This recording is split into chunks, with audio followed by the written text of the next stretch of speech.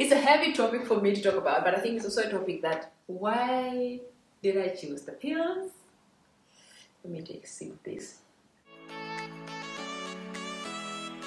Ciao ragazzi! Today I'm here to share about my birth control experience, like everything else that no one tells you about it because I have been pretty much using them for all my life. Just things that I regret when it comes to that decision that I took many years ago, side effects issues, infertility issues, and let me say what well, this is one of those topics when your parents will tell you, take a seat. And if you're standing, take a seat because we have a lot to share, or I have a lot. Why I don't even know why I say we because I'm taking this probably as a girl's talk and it's a talk that is also very important to me. It's also one of those videos that I have drafted, I wanted to film since the beginning of this channel, but back in the day the channel was more like cooking channel. I didn't know how to bring in things like this. Now it's more like moving towards a personal and I can share a little bit more of my journey just as a as a woman as well. And if you have watched uh, this channel for a while and you have seen the video when we did about uh, why we still do not have kids, I've expressed before that during my time growing up in the village, so many young girls got pregnant before they finished school. And that was, you know, it was really terrible because obviously you are the village, you want to finish school and maybe go to college and then have kids later. It was just terrible, and most parents were also very, very scared. My mother, who is a nurse and has always been a nurse, then was at home like preaching contraceptive, contraceptive, use contraceptive. Well, I just remember my mother was like also very scared. Oh my goodness, my kids. Most parents were actually scared my kids are going to get pregnant, people that finish school, they're not, or they won't be able to finish. So this is why I chose to actually take contraceptives. Start by saying how long have I been using contraceptives? Uh, very long, I would say I've been using contraceptive for as long as I remember, like just as long as I've been sexually active uh, I would say that is probably since I was 18. Now, in Namibia for, I think also up to now, if you don't have uh, good health insurance because not uh, compulsory, you could just get this from the hospital for free. Then if you have, when I started working and I had health insurance, I would then get it from my, I think from my private doctor, but then you had to pay extra for them while yes i had to pay i would say about 30% i had to contribute 30% to get them while when i was getting them for free like at the private at the public hospital you would only pay seven dollars the days and then you'll get them one package for three months for free what have i been using of course we all know there are a whole lot of different contraceptives all my life i have been using pills. Why did I choose the pills? Let me take a sip of this. This is a very heavy topic for me to talk about, just from an African perspective. These are kind of things that we just taught as, or we were just raised that these are taboo, you shouldn't be talking about them. Uh, it's still, there's so many taboos and myths around contraceptives, and back in the day, I remember, although we were going to these schools or these uh, lessons where we taught about contraceptives and stuff, some parents who still wouldn't allow their children to take them. And if they knew their neighbors' children are taking contraceptives, they happened to find out was still going to be a major issue. Now, I would get this directly from the hospital, but I know the very first time I went to the hospital and I wanted to get this, I was 18 and at 18, I was already done with uh, high school. It was like my first year at the university. So you have your own apartment, you have a boyfriend, maybe your boyfriend is also coming to sleep over from time to time. So I, I just wanted to be safe. Um, of course, there are also STDs and stuff, and I will get into that in a bit. But one main thing I really wanted to be away from is having a child when I am not ready for one. And it's, I mean, 18 years old at the university, how I suppose. And my mother was always like, no, if you get a child, you're coming to sit at home and take care of your child, things like that. It's scary, and I have seen it and I experienced it. In my small town, they're for free. Then I went to the nurse, who I know, who knows my mom, who first called my mom to say, oh, your child is here. Is definitely doing something you want to have contraceptive. Of course, it's also a conversation I've had already with my mom because my mother was very open about it as well at home. In addition to if you're using condoms and stuff, always have something extra also that protects you from how long have I used it? I would say since yeah, hundred percent sure since I was eighteen, and for all that time up to now, I've only been using contraceptive pills. When I was in Namibia before I moved here, in Namibia they would give you a packet with uh, 28 pills. This is what I got. I used to get in Namibia, and from the private, uh, from the public hospital for free, you get three of these, enough for every for the next three months. In this packet in Namibia, there was always one week which was just red pills, like seven red pills.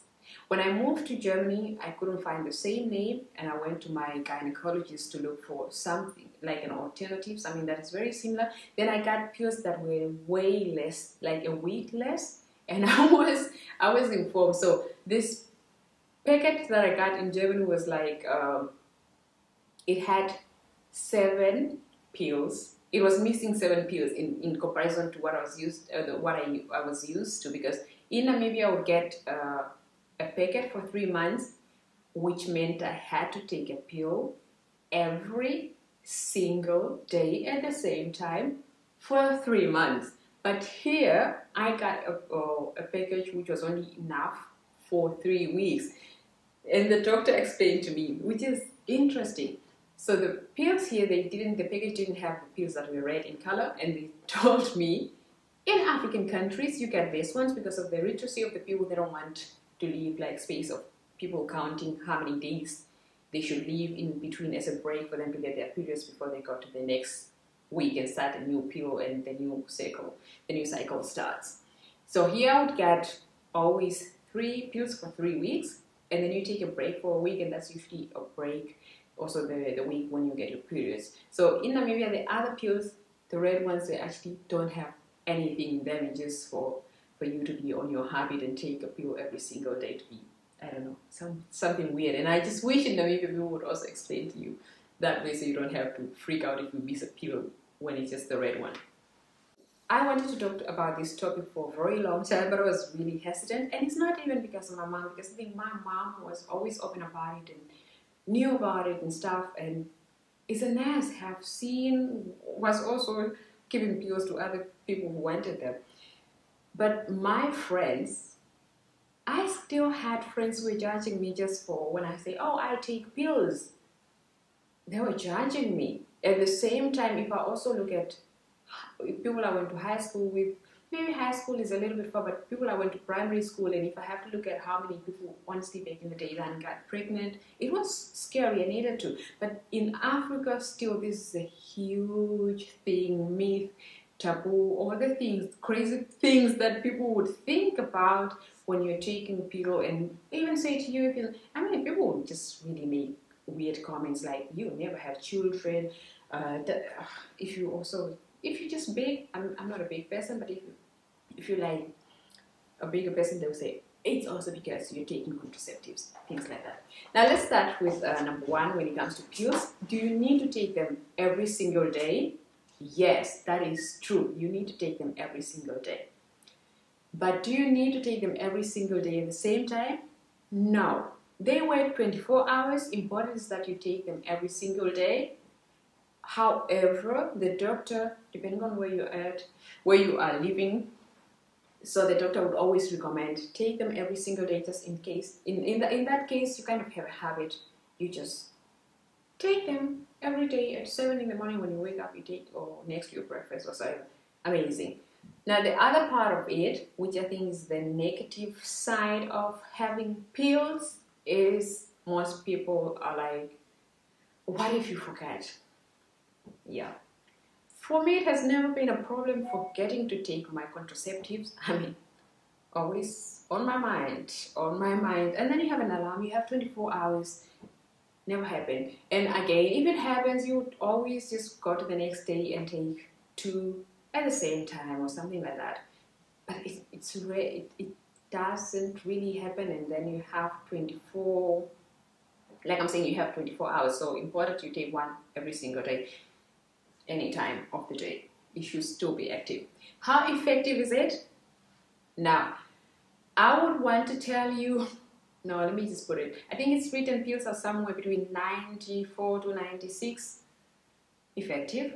Amazing. I can't really tell how effective it is because all the time while I'm sitting here talking about pills because this is what I think I've been always using as a major contraceptive, I was always using another second contraceptive method, like always using a condom and things like that to just, I don't know, I always want to be on the safe side. So I had something on, on the side, but I would say, it, I would say it's effective. I would say it is effective. I really know anybody who is on pill who happened to say, okay, I got pregnant while I was still. Okay, what else? Hormone, this is big. Weight gain. I'm here to say weight gain for me, it has never been an issue. I wouldn't say I got big. I mean, I'm still wearing extra small to small, so I wouldn't say I got bigger because of the pill. But I've noticed I've gained weight with age, and I think when I started eating more and drinking more, especially after I started working, I gained a little bit more weight. And I think that has nothing to do with the pills because I have had pills for a very long time. Um, does the pills stop your periods? No, it has never happened to me. I have always, and I still get my periods all the time, every month. However, one thing that I can say, which I think is also, if, if you check some um, some studies, it's also proven, they do actually control your period. So it's a little more regular, consistent in my case. But I can't say much about it because I think I started my period somewhere around when I was 17 and six months later I'm on the pills. So since I only most of what I've experienced I've always been on the pills. Another myth is oh you need to take a break from the pills because it's toxic, it's dangerous, whatever your body just need a break. I've never taken that. My gynecologist have never suggested anything like that. I've started when I was 18 and every single day I always still take that. Never suggested and I never felt any any need to actually stop. I mean, no. Um, what my what was recommended to me was that maybe eventually over years I might need to change to something else if I feel like it's no longer effective. But I have not I, I have never changed to anything up to now. One thing though that I really want to highlight here is that if you're on the pills, no, oh, I don't know, that is just me because I've been always on the contraceptive. Not only if you're on the pill, but whatever you are using as a contraceptive method, you probably want to make sure that you're visiting your your doctor on I would say every three months, like every every third month you want to go visit your doctor and just make sure that you're checking if you have tumors developing in your uterus or in your breast and things like just do some scans. I also been doing that every now and then. He's recommended i think every third month or every six months and then you just check. And the, the weird thing is that actually if you don't do that here if you don't go for these uh, checkups that are requested their doctor might actually refuse to give you the pill. And unlike in Namibia, I remember very well in Namibia, you could also, when I started working and I didn't want to go to the public hospital a while things are for free at the public hospital, you have to sit in a queue for a long time before you get the pills. You could also just go to the pharmacy and say, I want to buy this, and they would give you, you have to pay full price for it.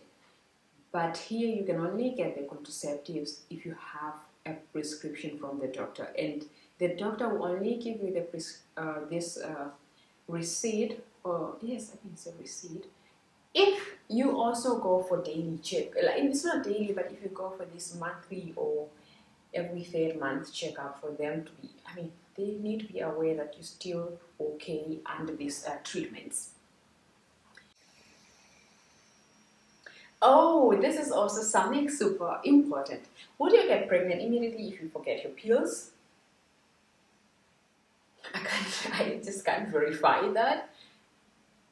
I would say though, uh, important to take them every single day, 24 hours you have. Although, yes, you have 24 hours, it's obviously also highlighted, I think, in the studies that they do when they're doing this oral contraceptive uh, investigations or experiments that you forget, then your chances, because again, the effectiveness of this stuff is not 100%. So if you forget, then your chances of getting pregnant are also high. Um,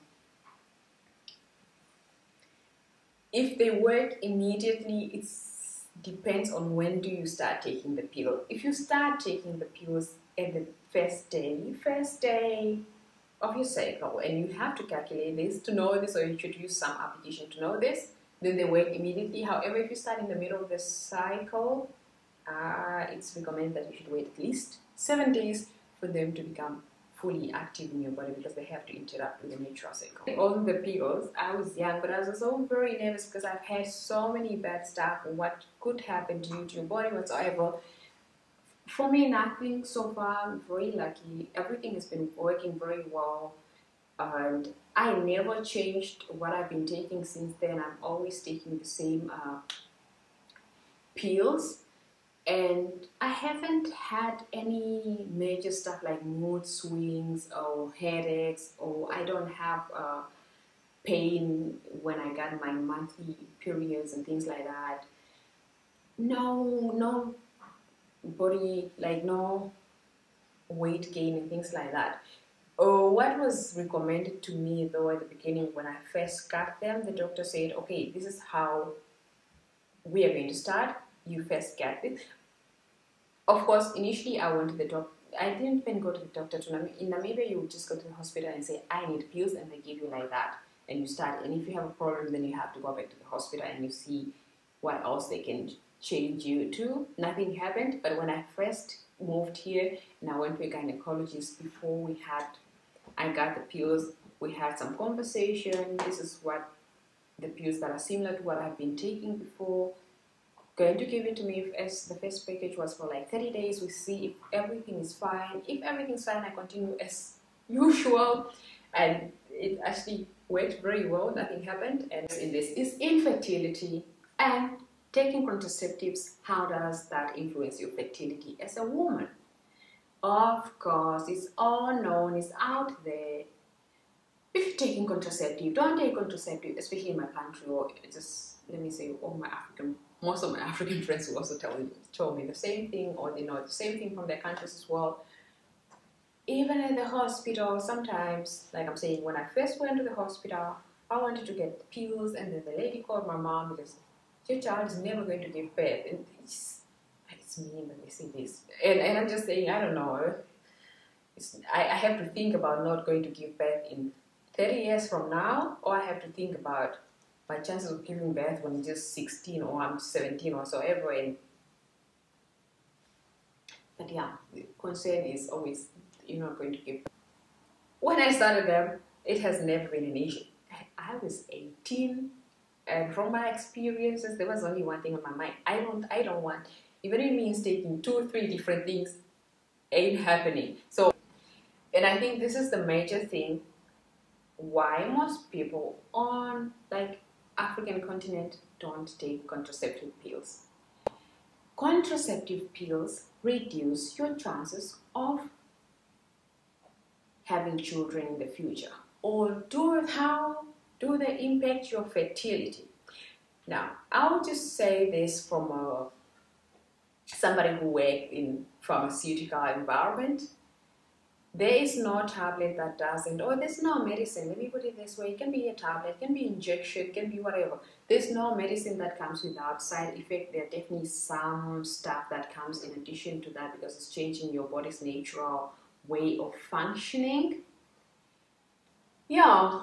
Anyway, guys, I think I've touched everything that I really wanted to. Uh, periods, side effects that I've experienced uh, what else? How often? How necessary? How long? Yeah, I would like to hear from you. What uh, what else are you using and how is it working for you? For me, it has always been the pill, and so far, been working very good. I'm kind of used to it, and I'm not willing to change. I've seen crazy stories of people changing, and things might not work very well, and I think that is scary to me. So I'll just stick to what I know at the moment. And yeah, see you in my next video.